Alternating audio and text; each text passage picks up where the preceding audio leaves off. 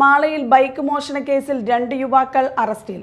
കുഴൂർ കൈതാരത്ത് വീട്ടിൽ ജിജോ മേലടൂർ തെക്കേക്കര വീട്ടിൽ റിജോ എന്നിവരെയാണ് Mala S HO Sunil Pulikkan S I C K Suresh എന്നിവരുടെ നേതൃത്വത്തിൽ സംഘം അറസ്റ്റ് ചെയ്തത്. ജൂൺ ഒൻപതിന് മാള പള്ളിപ്പുറത്തുള്ള സിമന്റ് ബ്രിക്സ് സൈറ്റിൽ വെച്ചിരുന്ന മാള ചെറുകാലത്ത് വീട്ടിൽ റിൻസൻ എന്നയാളുടെ ബൈക്കാണ് മോഷണം പോയത്. പ്രതികൾ മോഷ്ടിച്ച ബൈക്കുമായി കറങ്ങി നടക്കുമ്പോൾ അന്നമനട പുറക്കുളം പാലത്തിന് സമീപത്ത് വെച്ചാണ് പോലീസ് പിടികൂടിയത്. കോടതിയിൽ ഹാജരാക്കിയ പ്രതികളെ റിമാൻഡ് ചെയ്തു. എസ് ഐമാരായ C S Sumesh K K Sulfikar senior C P O Dibeesh Vipin Lal Najeeb എന്നിവരാണ് അന്വേഷണ സംഘത്തിൽ ഉണ്ടായിരുന്നത്